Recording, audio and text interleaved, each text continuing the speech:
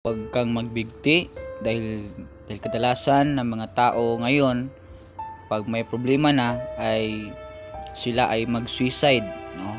So wag mong gagawin 'yan. Yan po ay masama at hindi po 'yan gawain ng mga Kristiyano. Kung ikaw ay Kristiyano na, ikaw ay ligtas, wag mong isipin na magbigti ka dahil yan po ay ay kasamaan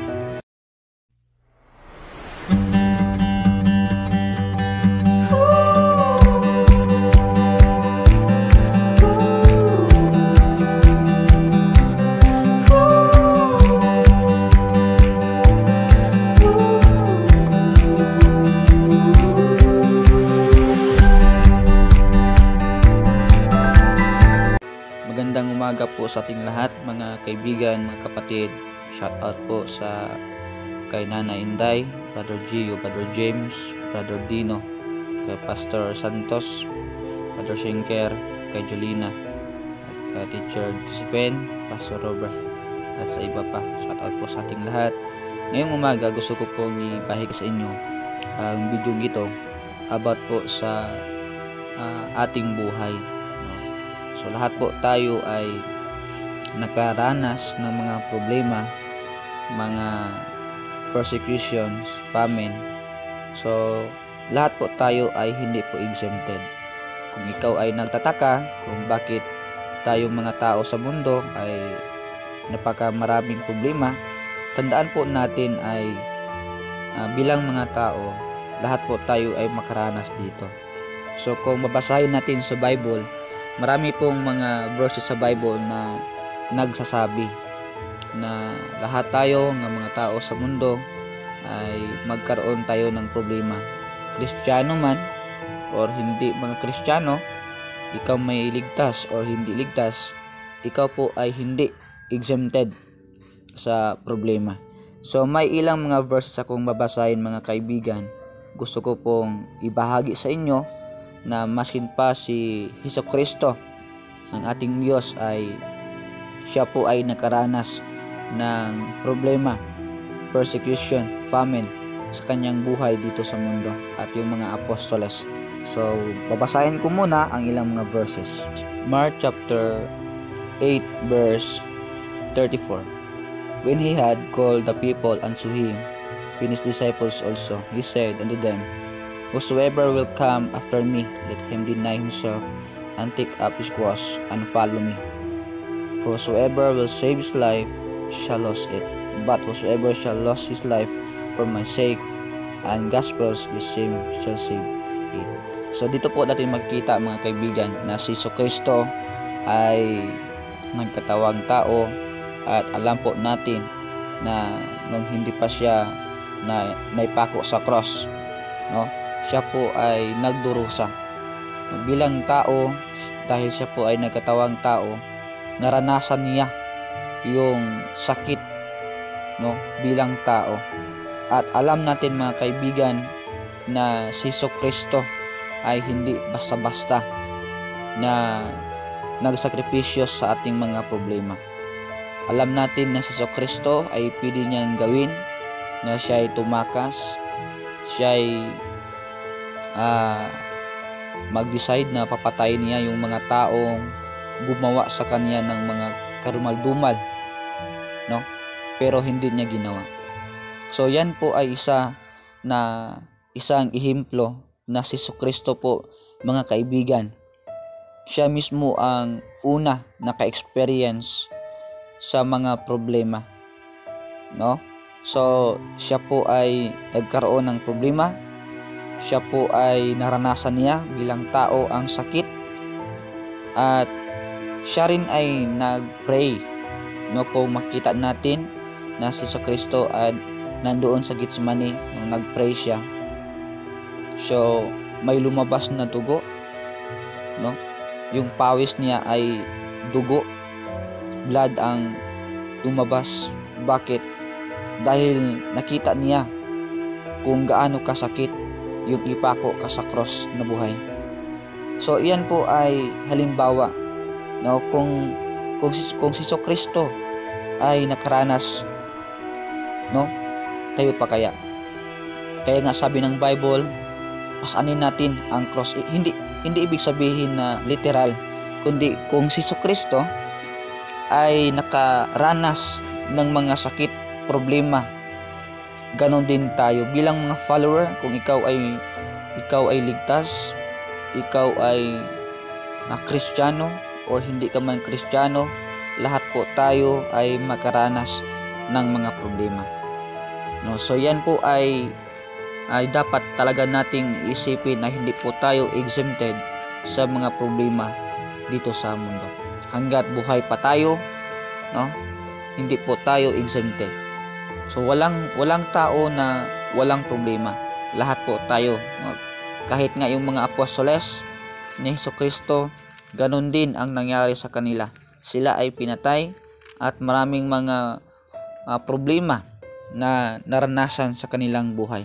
Like for example, sa 2 Corinthians chapter 4. So dito natin makita ang sinulat ni Apostol Pablo sa verse 8. We are troubled on every side, yet not distressed. We are perplexed but not in despair, persecuted but not forsaken, cast down but not destroyed. So dito po natin makita mga kaibigan, mga friends, mga family, bakit po tayo ay nakaranas ng mga problema dito sa mundo. Dahil una, ay ito rin ang nangyari kay Kristo. Siya rin ay nakaranas ng problema, ng sakit, no? No. So ganun din yung mga apostoles, nangyari din sa kanila.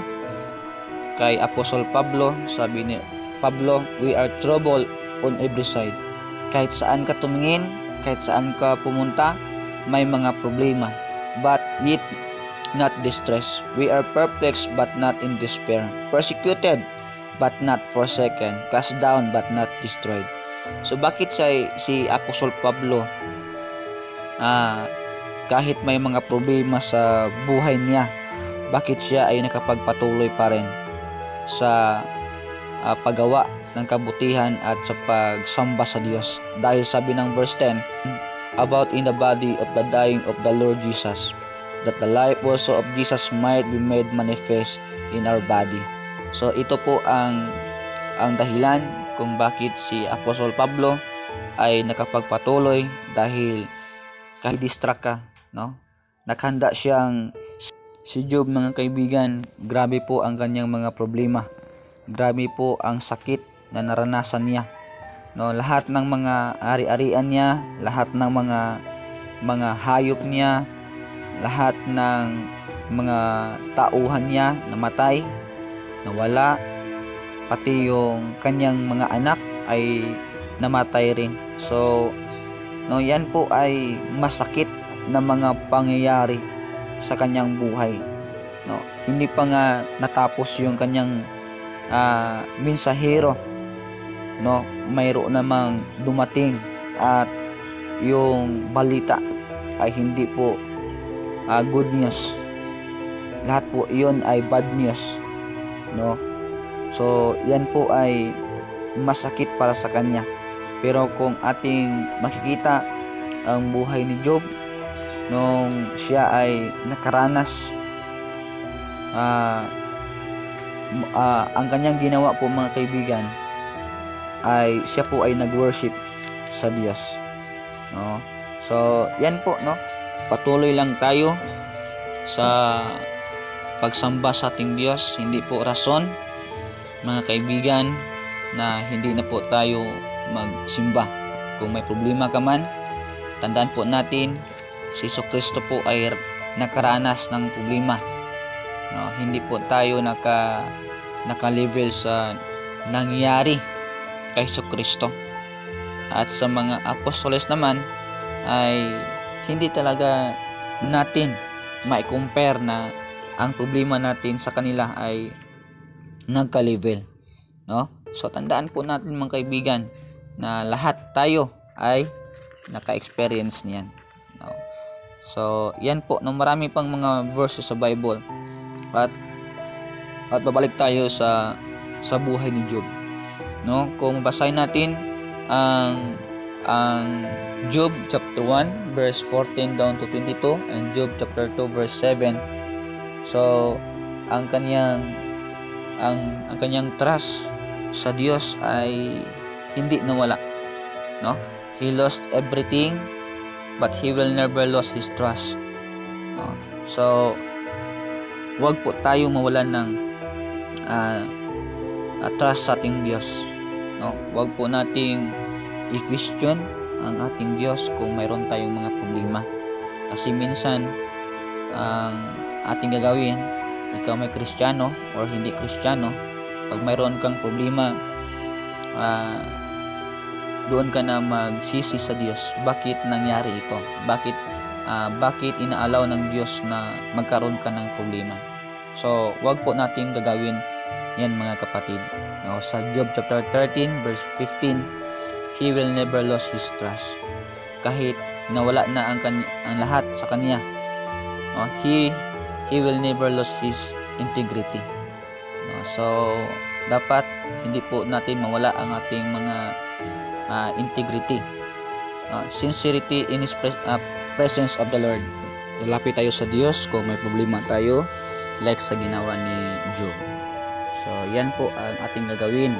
Hindi po tayo uh, pupunta sa ibang lugar uh, tayo po ay mag-isa dahil kung tayo po ay mag-isa mga kaibigan may may posibilidad na tayo ay ay itempt sa kaaway ni Stanas uh, wag po tayong mag-isa kung tayo po ay may problema wag kang magkukulong sa kwarto kung may problema ka ikaw lang ang ang mag-isa no?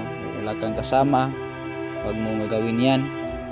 So, much better na ikaw po ay pupunta sa pastor para magpa-advise ka kung ano ang dapat mong gawin para yung counsel naman, no, yung advice naman sa isang man of God ay tiyak na makatulong po yan sa inyo kapatid.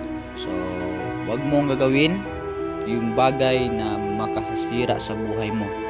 Huwag kang magbigti dahil dahil kadalasan ng mga tao ngayon, pag may problema na, ay sila ay mag-suicide.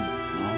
So, wag mong gagawin yan. Yan po ay masama at hindi po yan gawain ng mga Kristiyano. Kung ikaw ay Kristiyano na, ikaw ay ligtas, wag mong isipin na magbigti ka dahil yan po ay ay kasamaan bilang mga Kristiyano, hindi po iyan ang solusyon para magbigti po tayo.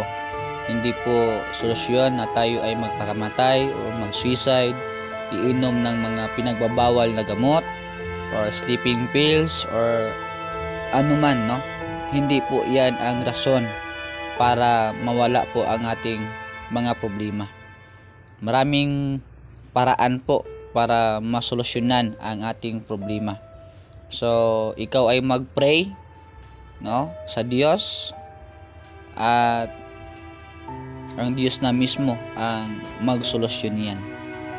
Again, ulitin ko po, hindi po uh, rason na may problema tayo ay tayo po ay magbigti.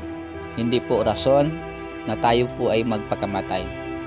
Dahil marami pong bisis na na ginawa ito.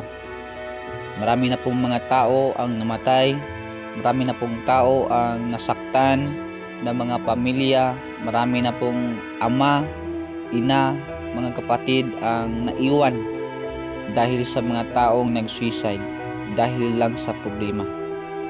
Hindi po yan gawain ng mga Kristiyano at talong-lalo na po hindi po yan magagalak ang Diyos. Hindi po masaya ang Diyos sa ginawa ng tao dahil siya po ay nagbigti, siya po ay nag-suicide, siya po ay nagkamatay. Tandaan po natin mga kaibigan, binigyan tayo ng problema sa Diyos hindi upang patayin tayo. Hindi po tayo binigyan ng problema sa Diyos para ikaw ay magdesisyon na magpakamatay. Tandaan po natin mga kaibigan, mga family, friends. Binigyan po tayo ng problema sa Diyos upang gustuhin sa Diyos na tayo ay lalapit sa Kanya.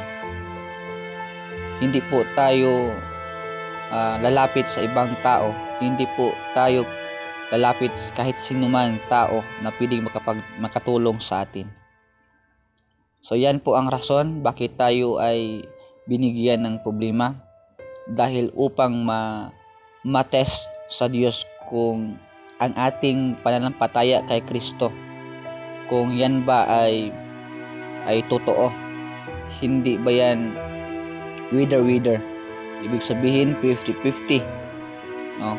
Yan po ay gustuhin sa Diyos na pag may problema po tayo at lalong lalo na pag ikaw ay ligtas, ikaw ay kristyano, ikaw ay lalapit sa Diyos. At instead na may problema tayo mga kaibigan, yan po ay dapat nating papas papasalamatan. Bakit? Hindi lang po sa lahat ng mga gusto na nangyari sa atin ay saka tayo magpapasalamat. Sabi ng Bible sa Roma chapter 8 verse 28. Ito po ang nakalagay sa Bible. And we know that all things work together for good to them that love God. To them who are the called according to His purpose. So kung may problema kaibigan, why not na yan mo ay i-appreciate? Why not na yan ay papasalamatan mo? Lord, salamat sa problema.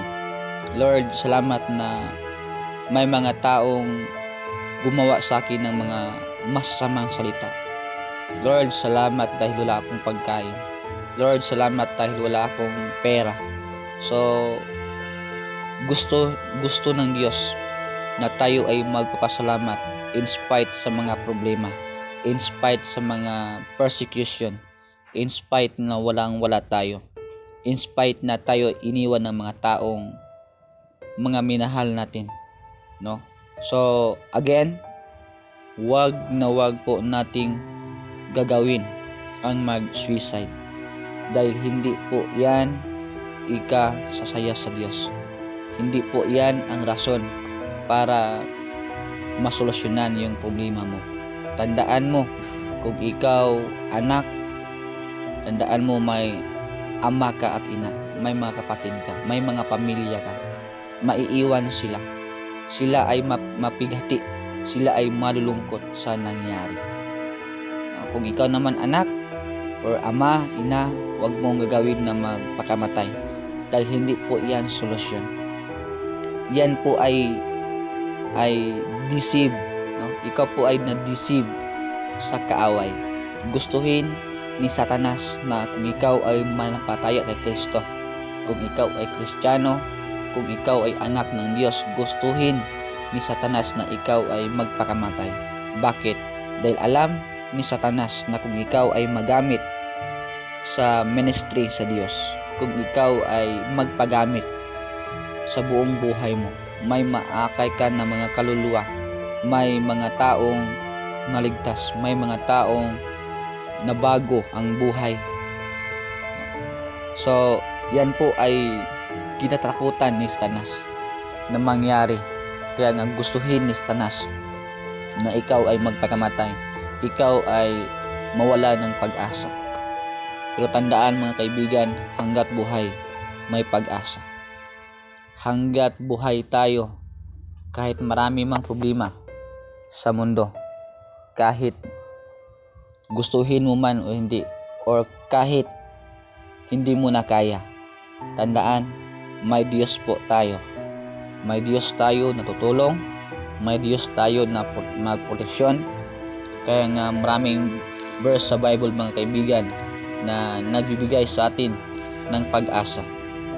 Sa Nahum chapter 1 verse 7. So siya po ang protection sa atin. Siya po ang mag-lift up sa atin. Sabi ng Bible sa Nahum chapter 1 verse 7, The Lord is good a stronghold in a day of trouble, and he knoweth them that trust in him. So, yan po, malinaw po. The Lord is good, a stronghold in a day of trouble. So, kamantay, gusto mo na mag-backslide, nandiyan ng Diyos. Oh. So, tayo po ang kawawa. So, wag po tayong gagawa ng mga problema. So don't forget to subscribe my YouTube channel. And maraming salamat and God bless po.